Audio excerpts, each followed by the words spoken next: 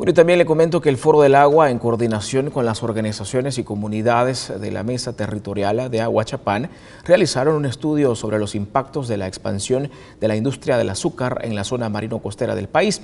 Entre los hallazgos informaron que esta industria utiliza el 77% del agua disponible en la zona baja del río Paz para el riego de la caña, afectando las cosechas de otros cultivos y el acceso al agua para el consumo humano de 18 comunidades.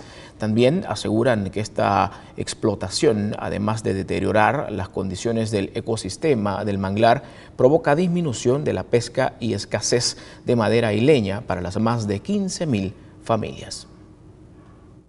Es necesario regular el riego, es necesario aplicar la ley de áreas protegidas, la ley, la ley forestal, de manera de impedir que sigan deteriorando las áreas protegidas. Y también hay que aprobar la ley de aguas. Está comprobado que este, este interés es el que está oponiéndose a la ley. Ellos en, la zona marino costera de El Salvador están consumiendo 205 millones de metros cúbicos para cultivar alrededor de 36 mil hectáreas de caña. Es decir, una eh, poca cantidad de tierra cultivada requiere más del 20% del agua disponible para riego en El Salvador.